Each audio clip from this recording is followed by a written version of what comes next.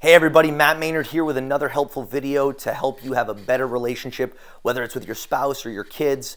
Today what I want to talk about is a very misunderstood concept called validation or validating somebody. This hands down is a critical element to having deeper, more meaningful connections with the people that you love and that you care about because ultimately it really makes them feel like you are trying to understand them. Most people confuse validation with agreeing with somebody all the time. And ultimately, that's not really what people need.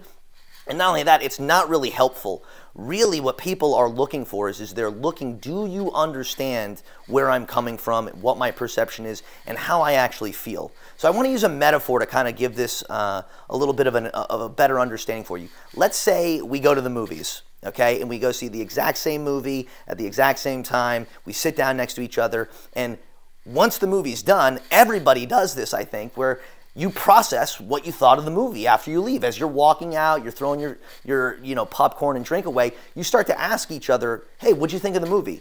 And what will happen is, is you're going to have a dialogue with the people that you went with around aspects of the film that they focused on, and then their emotional connections or their emotional perspective on what was occurring in the film, which will ultimately lead to their experience either being positive or negative, right? So, for example, let's say we went out and we saw this movie and there were aspects of the movie that you focused on that were about a specific character or the way that character came across to uh, another cast member in the movie.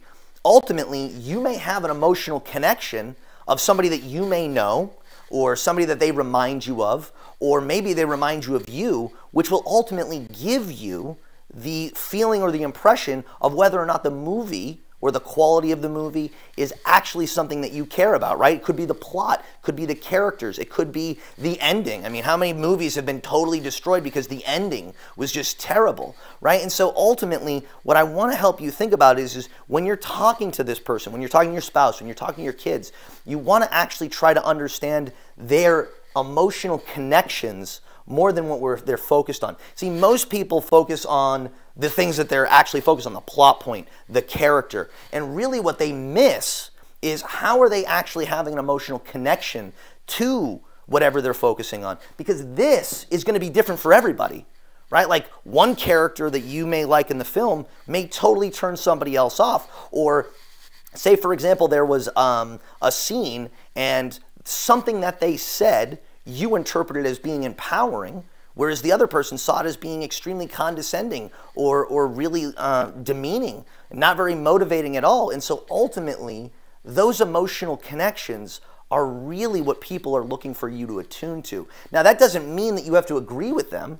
It means that you really want to be able to tie together what they're focusing on and what their emotional connections are so that you can say, oh, I can understand why that made you feel that way, or I can understand why that rubbed you the wrong way, or you didn't like the film, or why you loved the film.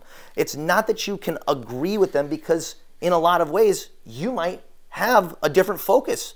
You might focus on different aspects of what was going on in the, in the movie, or in the scene, or in the plot, or even in the experience as a whole that ultimately meant more to you, or you had a different emotional connection to those things, and therefore your experience is different.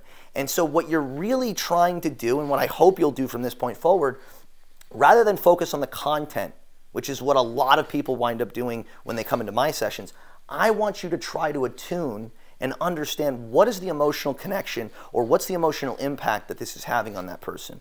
All right, because then as soon as you can attune to that, they can feel understood, and then they feel like you care and you're connected to them. And in turn, you may actually then be able to challenge them. You may then be able to kind of bring up something or, or bring up a different perspective that you maybe you had, but you can't do that unless they actually feel understood in their emotional connections to what they were focusing on.